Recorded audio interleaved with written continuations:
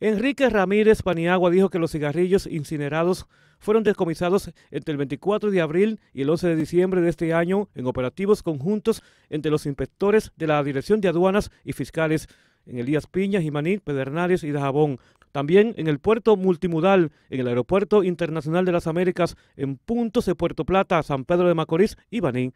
Explicó que el Estado deja de percibir unos 200 millones de pesos mensuales por esa práctica éxito del sector público, del sector privado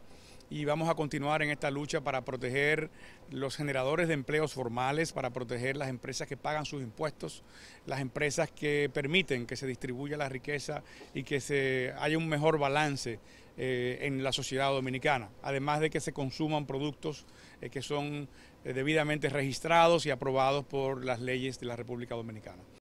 Este año el sector que fabrica y comercializa cigarrillos dejó de percibir unos 1.500 millones de pesos por la actividad del contrabando. El flagelo del contrabando afecta a todos, afecta al gobierno porque deja percibir sus ingresos, afecta a las empresas lícitas que dan trabajo a personas y también afecta a la rentabilidad de esas empresas y afecta obviamente al público consumidor. Ramírez Paniagua reveló que en lo que va de año la institución ha decomisado 85 millones de unidades de cigarrillos y en su gestión que inició en agosto del 2016 más de 236 millones de unidades del producto. Roberto Brito, 1 más 1.